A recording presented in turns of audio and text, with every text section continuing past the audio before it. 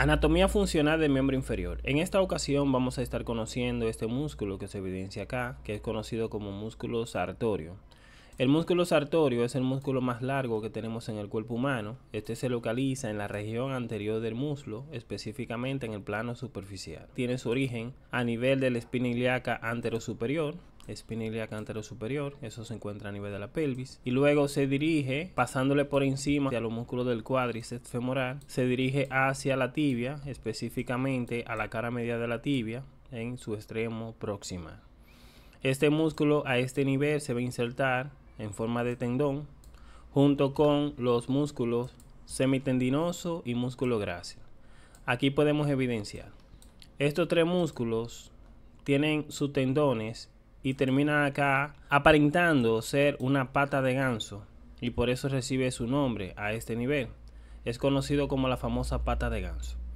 En cuanto a la anatomía funcional del músculo sartorio, vamos a evidenciar qué nos permite realizar dicho músculo.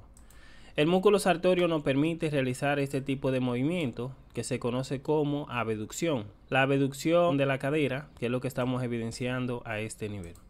También el músculo sartorio me permite este tipo de movimiento, recordar que es la flexión de la cadera y gracias a que tiene su origen a nivel de la espina y la cantera superior, por encima de la articulación de la cadera, me ayuda a realizar este movimiento. También otro tipo de movimiento que podemos evidenciar es la rotación medial o rotación interna de la pierna. Miren acá cómo se rota esta parte acá de la articulación de la rodilla.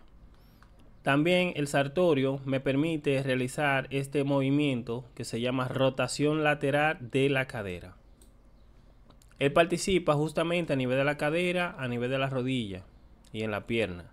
Estos serían los tipos de movimientos que me permite este músculo súper interesante. Ya saben, músculo sartorio, síganme para más contenido. El doctor Reynoso estuvo con ustedes.